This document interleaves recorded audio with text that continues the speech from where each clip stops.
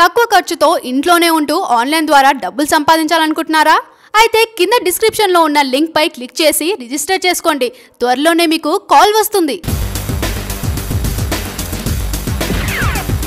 Hi hello welcome to hello TV Osmania యూనివర్సిటీలో విద్యార్థి నాయకుడుగా ఎన్నో పోరాటాలు చేసిన జార్జ్ రెడ్డి కథతో సినిమా తెరకెక్కిస్తున్న సంగతి తెలిసిందే. ఇప్పటికే అన్ని కార్యక్రమాలు పూర్తి చేసుకున్న ఈ సినిమా నవంబర్ ఇరవై రెండున ప్రేక్షకుల ముందుకి రానున్నది. ప్రమోషన్ కార్యక్రమాలు ప్రారంభించిన చిత్ర యూనిట్ ప్రీ రిలీజ్ వేడుకలను ఘనంగా నిర్వహించేందుకు ఏర్పాట్లు చేసుకున్నారు. ఈ రోజు హైదరాబాద్లోని నెక్లెస్ రోడ్లో అభిమానుల సమక్షంలో ప్రీ రిలీజ్ వేడుకలు నిర్వహించేందుకు ప్లాన్ చేశారు. ఈ కార్యక్రమానికి పవర్ స్టార్ పవన్ కళ్యాణ్ ముఖ్య అతిథిగా హాజరయ్యేందుకు అంగీకరించారు.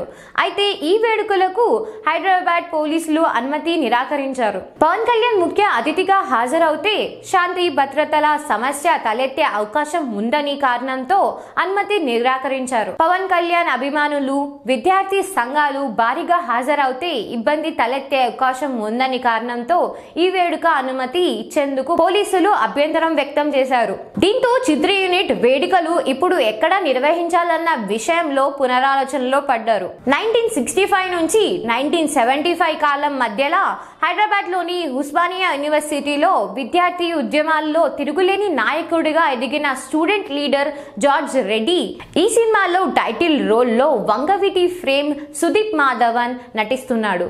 దల్లం మూవీ ఫ్రేమ్ జీవన్ రెడ్డి దర్శకత్వం వహించారు. Silly max three line cinema బ్యానర్తో కలిసి మ్యాక్స్ మూవీ అది అధినేత అప్పిరెట్టి నిర్మిస్తున్న ఈ సినిమా నవంబర్ ఇరవై రెండున విడుదల కానున్నది. మరి ఈ సినిమా ప్రీ రిలీజ్ వేడుకలకు పవన్ కళ్యాణ్ వస్తే బాగుంటుందా? రాకుంటే బాగుంటుందా? కామెంట్ చేసి నాకు తెలియజేయండి. ఈ వీడియో ఇంకా మీకు నచ్చినట్టయితే లైక్ చేయండి షేర్ చేయండి. ఇలాంటి లేటెస్ట్ అప్డేట్స్ కోసం హలో టీని సబ్స్క్రైబ్ చేసుకోండి.